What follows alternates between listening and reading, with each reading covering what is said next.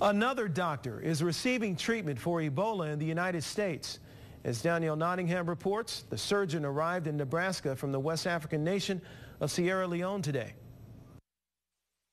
Dr. Martin Salia landed in Omaha Saturday afternoon, then went by ambulance to Nebraska Medical Center, where he is undergoing treatment. The 44-year-old surgeon was working at a hospital in the Ebola zone in Sierra Leone's capital of Freetown, but not with Ebola patients. He started showing symptoms last week. A medical team in Sierra Leone says Salia was critically ill when he left for the U.S. They just say we should keep calm, everything's going to be okay, and so far, he's responding very well to treatment. Salia is a citizen of Sierra Leone who lives in Maryland with his wife and two children. His son says his father was aware of the risks going to work in West Africa. The fact that he left here and go back to his country, that made me worried a little bit, especially when he's a doctor and he he treats patients. That's the part that is scary because you don't know who has the virus. Salia explained during an April interview why he returned to help his countrymen. I took this job not because I want to,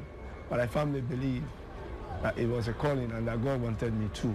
Nebraska Medical Center is one of four U.S. hospitals with special units to treat people with highly infectious diseases.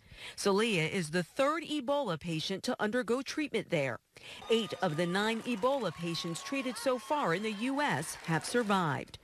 Danielle Nottingham, CBS News, Los Angeles.